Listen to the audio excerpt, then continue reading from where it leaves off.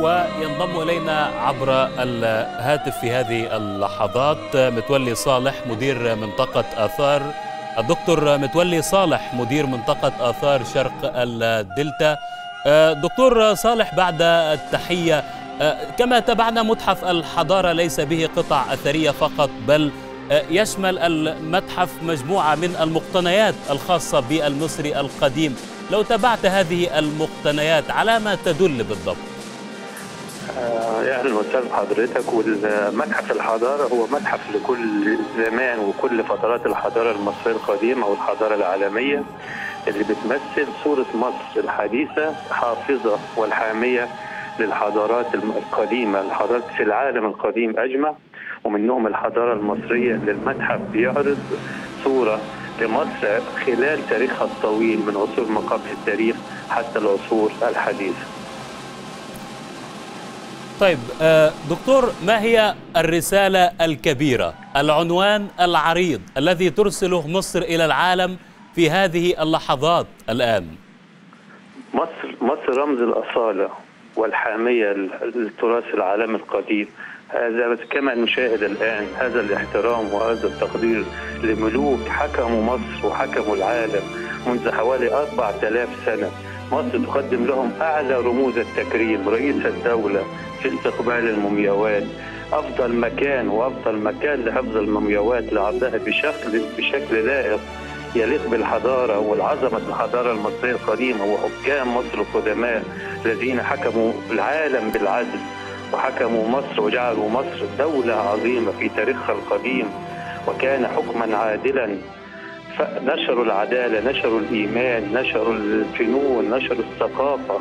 فكانوا رمز لمصر مصر العظيم مصر الفرعونية مصر المسيحية مصر الإسلامية مصر العربية العظيمة.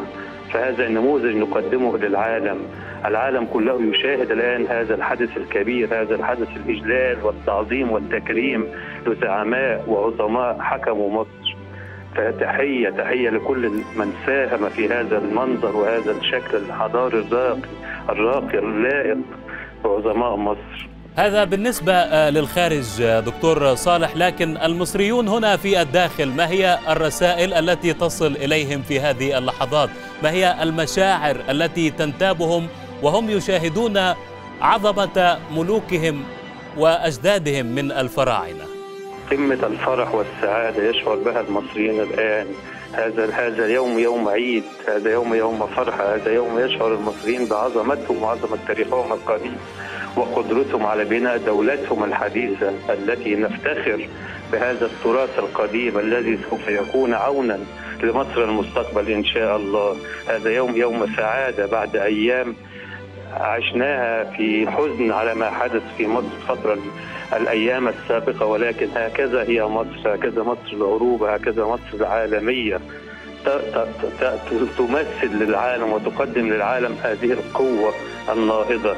إن شاء الله ستكون مصر قوية بهذا الحدث بهذا بهذا الاهتمام بهذه الصورة الراقية التي نشاهد متحف من أحدث متاحف العالم موكب من أحدث من من أنظم من من الأشياء الرهيبة النظام والدقة والتكنولوجيا الحديثة. تحية لكل من قام بهذا العمل.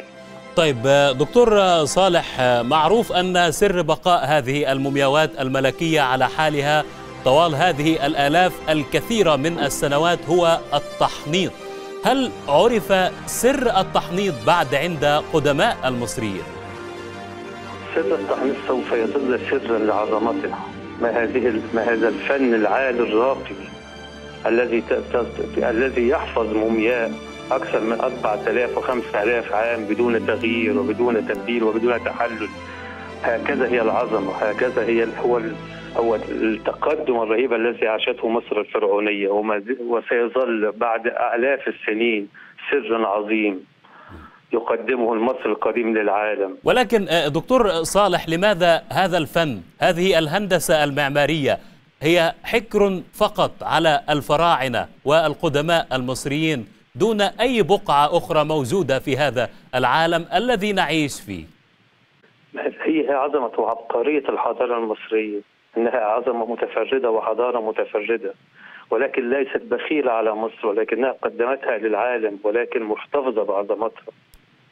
ما زلنا نحيا الآن في عظمة الأهرامات وعظمة الهرم المدرج وفي المقابر الملكية العظيمة بفنونها.